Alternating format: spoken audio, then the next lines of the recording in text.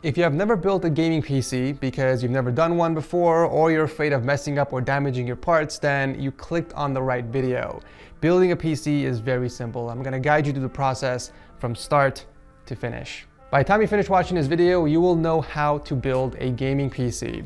I'm even gonna show you guys how to install Windows operating system, download and install the drivers, and I'm even gonna show you how to overclock the CPU and the GPU to get that extra performance.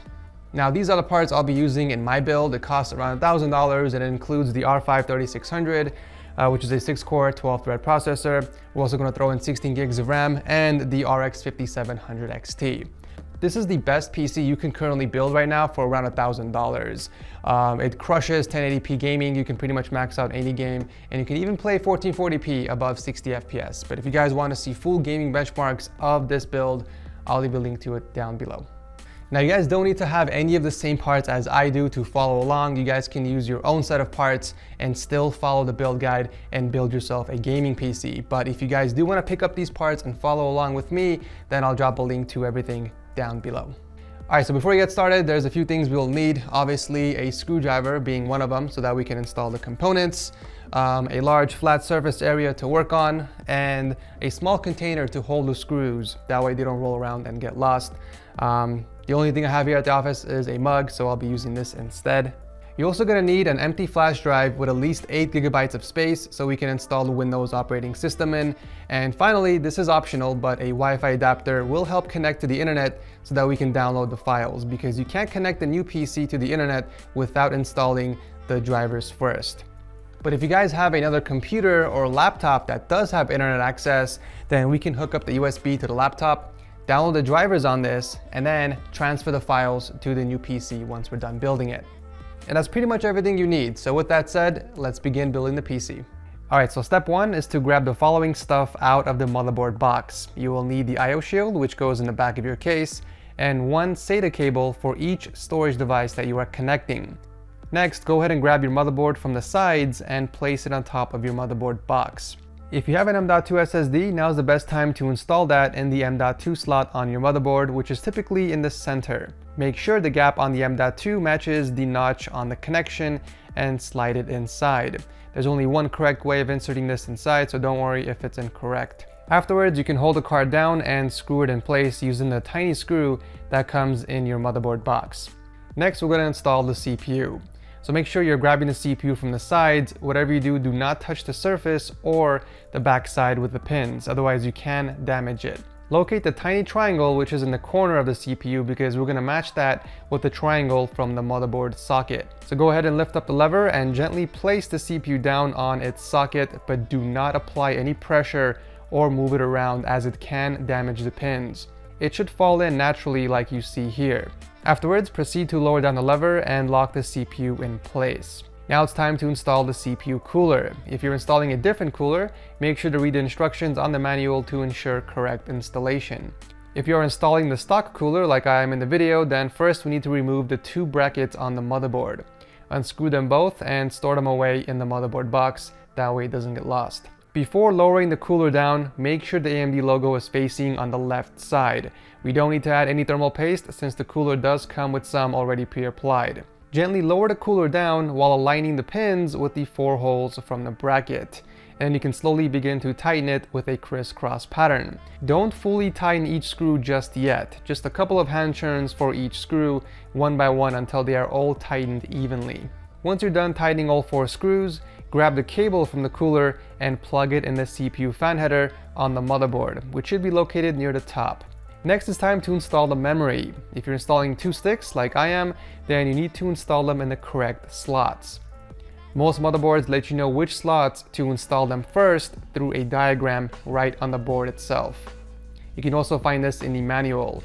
Now most boards will require you to install the sticks in A2 and B2 so that your RAM is taking advantage of dual channel. Pop open the tabs for both of the slots by pressing them down and make sure to align the gap in the RAM sticks with the notch on the RAM slot. These only go in one way, so don't worry if you think you're putting them in the wrong way.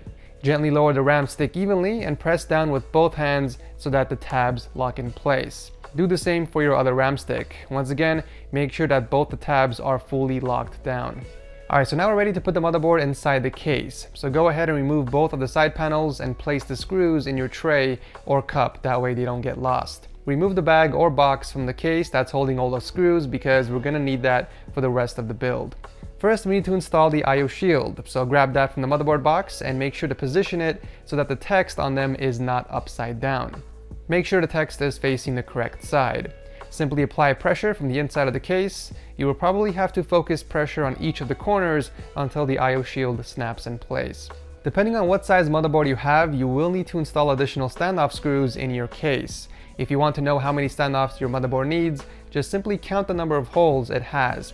My case comes with only 6 standoffs already installed, but my motherboard needs 9. So I'm going to have to install 3 additional standoffs. Make sure to install the standoffs in the correct places inside your case so that the holes from the motherboard are aligning with all of the standoffs from the case. Gently lower the motherboard down while making sure it sits perfectly on each of the standoffs.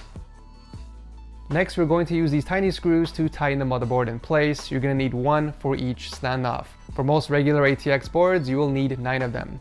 Next, we're going to install the power supply. So locate the part of your case that has a rectangular cutout in the back and make sure to position the power supply towards the ventilation. So make sure the fan is facing down. Gently slide it in and align the holes of the power supply with the holes in the back of your case and use four of these screws to tighten it in place. So before we move on and install the storage devices, you will need to know what cables are needed to connect.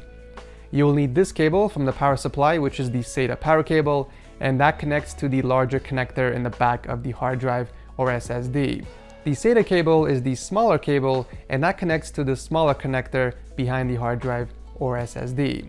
The other end of the SATA cable connects to the SATA ports on your motherboard and you can find those typically on the right side. This is very important you guys, some SATA ports are disabled once you install an M.2 SSD, so make sure to check your manual to find out which ones they are. In my case, SATA ports 5 and 6 are disabled when installing an M.2 SSD, so in this case, it's the top two SATA ports, which means I have to use the other ports instead. If you have a hard drive to install, then follow along, otherwise you can skip to the SSD portion. So first, go ahead and locate the hard drive cage. For this case, the hard drive cage is in the back and the only way to get access to it is by removing the two screws on the bottom of the case. Make sure to position the tray so that the connection ports are facing towards the back of the case. Afterwards, we're going to align the holes from the hard drive cage with the hard drive itself and then screw them in using these same screws we used for the motherboard. You don't have to screw in all of them, just two on each side should keep it nice and tight. Now if you have an SSD, the process is very similar, but first you need to figure out where you want to install it. This case has an SSD tray in the back and one more tray in the front. I decided to install it in the front so that the PC doesn't look weird with an empty SSD tray. So go ahead and remove the thumb screw for the tray and position the SSD with the connectors facing the back once again. There are two ways of securing the SSD, either installing the screws from the side or from the back. It doesn't matter which way you do it as long as the SSD is secured to the tray. Before we slide the tray back in the case, make sure to pull out the cables needed from the hole in the back so it's easier to hook them up. Remember, we need one SATA power cable from the power supply and one SATA data cable that comes with the motherboard. Proceed to hook them up in the back of the SSD and then you can slide the SSD back in the case and tighten it with the thumb screw. Now it's time to install the fans in your case. Now if you're planning on keeping the fan in the back, then you can leave it in the case, but if you have a different set of fans that you want to use, that way they all match together, then you can go ahead and remove it. Before we continue, we do need to figure out what fan configuration works best for your case.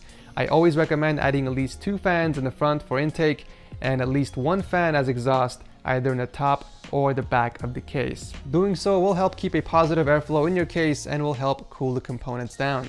Obviously, I recommend going with a four fan configuration like I am. That way you can put two fans as intake in the front and then two as exhaust on the top and back.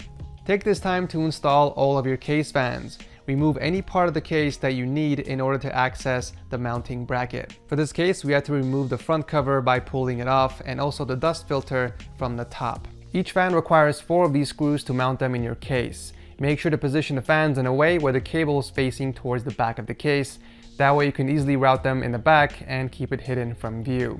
For the exhaust fans, you will need to screw them in from the outside of your case. So make sure the fans are facing the correct position and use your other hand to hold it in place while you screw it in. If you have any RGB strips, now is a good time to put those in the case as well. I do have two of them that came with the fans, so I placed one on the top closer to the side panel and the other strip in the back. If you're using any extension cables, now's the time to connect those to the existing power supply cables. And these only plug in one correct way, so don't worry about connecting them the wrong way.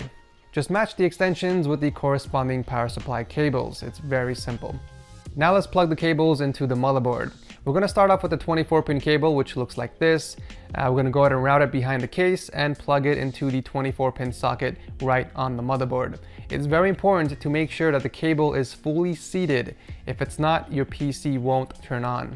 Next cable is to power the CPU socket, and this one plugs in the 8 pin socket on the top left of your motherboard. Some lower end motherboards only have a 4 pin socket instead of 8. In that case, just plug in the 4 pin cable instead. If your case has a USB 3 port in the front panel, then you should have a cable like this with a blue tip. This connects to the JUSB 3 header on your motherboard, and this is always on the edge of the motherboard, either on the right side or way on the bottom. Be very careful when installing this cable so that you don't bend any of the pins inside the motherboard. Next, let's install the cable that says USB, that way we can power the rest of the USB ports from the case. This plugs into any USB header on your motherboard labeled JUSB. If you have more than one, it's usually labeled JUSB 1 or JUSB 2 and so on. It doesn't matter which one you plug this in. Next cable is the one that's labeled HD audio and this is to give power to the audio ports in the front of the case. This plugs into the header labeled JAUD1 which is usually on the bottom left side of the motherboard. We have to give power to the RGB lighting in the front of the case, so grab the male SATA power cable that's connected to the case and plug this into the female SATA cable from the power supply. If you're using a different case that doesn't have this cable, then you can skip this step. While we're connecting SATA power cables, make sure that all your storage devices have power.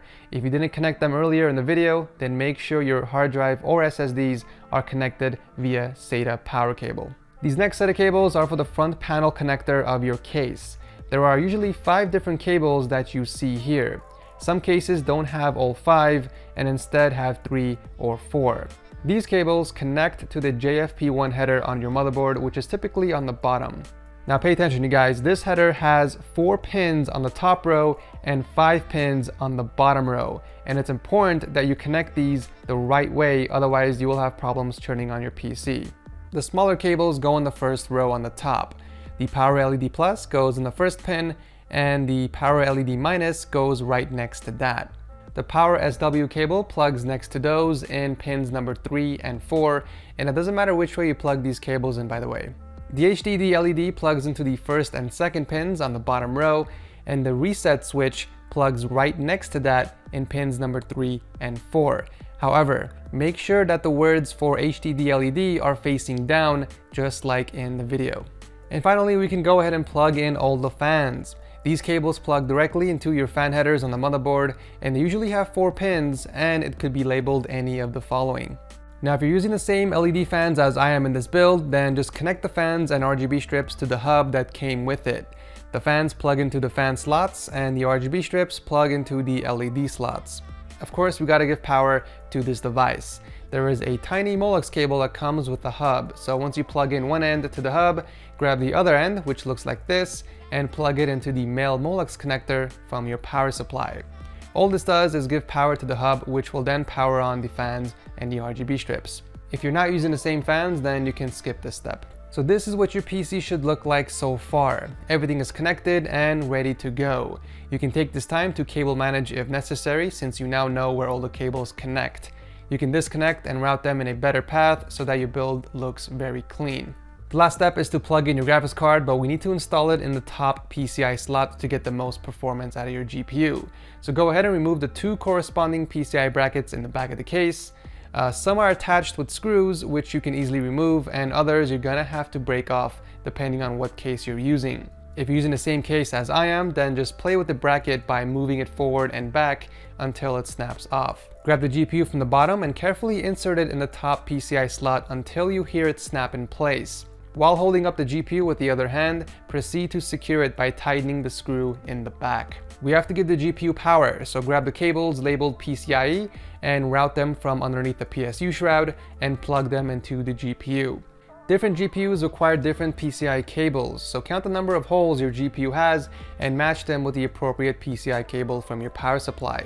For my graphics card, I need an 8-pin and a 6-pin PCI cable to power it. So after you plug those in, you have officially finished building your gaming PC.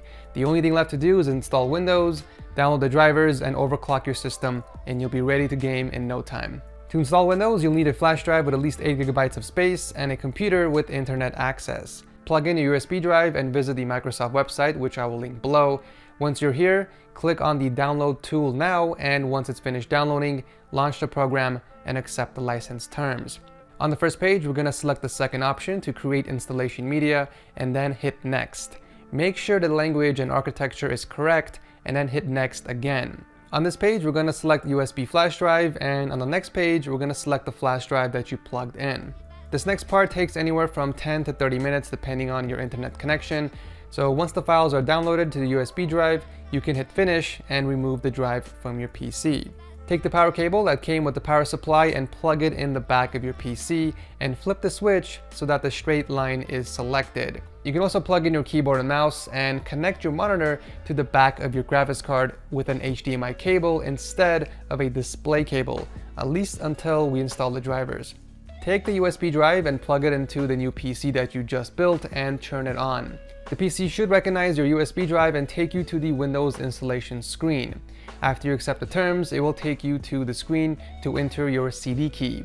If you don't have a CD key, you can buy one as low as $12.50 from yourcdkey.com. Just make sure to use the code TSS2 to get that discount, and I'll drop a link to the website below. If you don't have a CD key for now, you can click on the don't have a CD key option on the bottom, but you will need to activate Windows in the next few days. This next screen is important. This is where you have to select the version of Windows you want to install. This has to match the correct version of the CD key that you bought or are going to buy. For example, in my case, I bought the Windows 10 Pro CD key, so that's the version that I'm going to install. After that, we're gonna select where we want Windows to be installed in. Select the custom option on the bottom and you will see a list of storage devices that are connected to your PC. Always make sure to install Windows on the fastest drive. So if you have an M.2 SSD or a regular SSD, make sure to select those over the hard drive option. In my case, I'm going to install the operating system on my 960GB SSD. A quick note, if you are using an older drive with existing files, you can actually format and delete your drive from this screen. Just simply click on the drive you want to erase and click Format. If you have lots of problems with your PC and it's constantly crashing or freezing, a fresh install of Windows usually solves these problems, so it's something you can consider later down the line if it does happen to you. You can also feel free to bookmark this video, that way you can find it easily. So anyways, after the operating system is installed on the drive you selected, it's going to reboot a few times, so make sure to follow the setup instructions until you get to the desktop screen. So before we do anything else, we need to activate your other drives. If you have more than one drive and they don't show up on Windows Explorer, then it means we need to activate them. As you can see, we only have two drives showing up, but we connected three instead. The hard drive is not coming up. So we're gonna go ahead and click the start button and type in hard disk to bring up the disk management window. Over here, you will see a full list of the storage devices that are hooked up to your motherboard. As you can see, we have three disks showing up. Our SSD with the operating system, which is in the middle, our M.2 drive on the bottom, and the hard drive up top. But notice that the hard drive has a black bar above, which means that the hard drive itself is unallocated. Basically, it just means that it's not being used currently. So we're gonna right click and select new simple volume. We're gonna hit next a couple of times. Uh, over here, you can assign a drive letter if you wish. I'm just gonna put H for hard drive and then hit next again. Over here, you can actually name your drive. So I'm just gonna go ahead and label it hard drive and then hit next and finally, on the last page, we're gonna click on Finish. As you can see, the black bar turns blue, and when you open Windows Explorer, the hard drive is now visible, and you can start using it. You can do this to any storage device that doesn't show up on Windows Explorer. Now, if your drive still doesn't show up even after all of this, that means it's not connected properly, so please refer to the bottom timestamp to double check. Also, while we're still here, let's click the Start menu again and type in Power. Select the option that lets you choose a power plan And always make sure that high performance option is selected for your PC if you're planning on overclocking. All right, now it's time to download the drivers for your motherboard. So search up the motherboard that you are using and visit the manufacturer website and then click on the support tab. Over here, we're gonna select driver and select the operating system that we're using. These are the drivers we need to download. Regardless if you're using AMD or Intel, you have to download the chipset drivers to ensure your system is running normally. The next driver we need are the audio drivers, and it's usually from Realtek.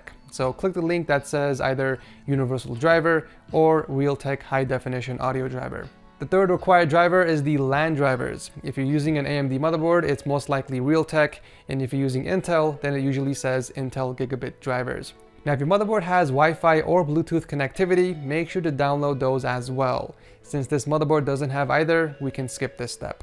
If you are using an AMD GPU, then we need to download and install the AMD graphics card driver instead. Go ahead and visit the website and click on the download now link and install it once it's complete. If you're using an NVIDIA GPU, visit the NVIDIA website and download GeForce Experience and install that. I'll drop a link to both of these down below for your convenience. To install all of these drivers, you have to simply open the folder and always search for the file name that says setup. That's the file you have to open up. If you need to extract the files, then click on extract and search for the setup file once again.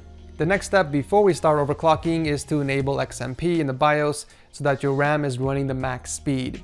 So go ahead and restart your PC and hit the delete key on your keyboard repeatedly until you are into BIOS. Navigate to the overclock menu and set the XMP profile to enable. You can leave the DRAM frequency to auto, which will then match the frequency of your RAM, or you can set it manually. The RAM I used in my build is rated at 3600 MHz, so I set it at 3600 MHz in the BIOS. Afterwards, make sure to hit F10 on your keyboard to save changes and restart your PC. If you don't want to overclock any of your parts, then you are officially done and you can begin clapping noobs online with your new PC. However, if you want to squeeze extra performance out of your GPU and CPU, feel free to follow along. If you're using a Ryzen processor, make sure to download Ryzen Master to overclock the CPU.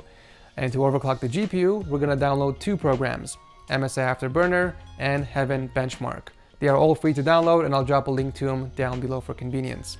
Open up Ryzen Master and click on Profile 1 and then select the Manual tab up top. Now if you're using the same processor as me, then just copy my settings. We're gonna click on the red icon over here so that the overclock gets applied to all the cores. And then we're gonna click on the first box over here and change the frequency to 4.2 gigahertz and then press enter. The voltage is set pretty high by default, so we're gonna go down to the voltage control and lower it to 1.375 volts. Afterwards, we have to hit apply and test. So the system does a quick stress test to make sure the CPU can handle those settings. And if it passes, you can save the profile and minimize the program. This is a very simple and stable overclock for the Ryzen 5 3600. If you have a better cooler, you could even go back and increase the frequency and test the system again. If it crashes, you'll have to increase the voltage by clicking the up arrow button once and then retesting it again. You can repeat the process until you find a stable overclock. Now, if you're using Intel, you can do this exact same process, but through the BIOS instead. The best way to find out how much you can overclock your CPU is by Googling it. You can see what settings other people have used to achieve their overclocks, and you can go from there. That's usually how I overclock my CPUs. Overclocking the GPU is a lot more simple. So we're gonna open up MSI Afterburner and the Heaven benchmark in windowed mode. Afterwards, we're gonna press F9 so the benchmark is running on Heaven while we have MSI Afterburner open up top. So we're gonna start off by dragging the power limit bar all the way to the right. If you're using an NVIDIA GPU, you need to drag both the power limit and the temp limit all the way to the right. So we're gonna start off by increasing the core clock. So let's double click on the number and increase it to 2050 and hit the save button. If the benchmark doesn't crash after a minute, we can go back and increase it again. I like to do 25 megahertz increments until I get to a point where the benchmark crashes. So now we're gonna go ahead and add another 25 megahertz and hit save again and wait until the benchmark finishes. I know for a fact that I can reach up to 2100 megahertz on this GPU because I tested it already. Anything past that and it becomes unstable. So I'm gonna keep the core clock at 2100 megahertz and move down to the memory clock. The same exact concept applies here. Increase it by 25 megahertz until you get to a point where the benchmark crashes. Sadly, I was only able to add 25 megahertz on the memory coming from 875 to an even 900 megahertz. Your GPU will vary, especially if you're using an NVIDIA GPU, because those tend to overclock a lot more on the memory clock. If for whatever reason your PC crashes or freezes during gameplay, then that means your overclocking settings are too high and you have to go back and lower the frequency and voltage. Make sure your CPU temps are not exceeding 85 degrees Celsius and your GPU temps over 95 degrees. Reference AMD cards with blower design tend to get pretty hot, so if your card is peaking at 90 degrees, don't panic. That is completely normal. These cards are designed to take the heat.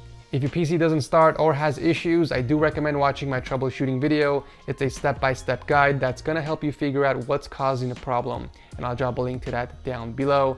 If this build guide was helpful to you guys, please consider leaving a like and subscribe if you enjoy these types of videos. Thanks so much for watching, and I'll see you in the next one.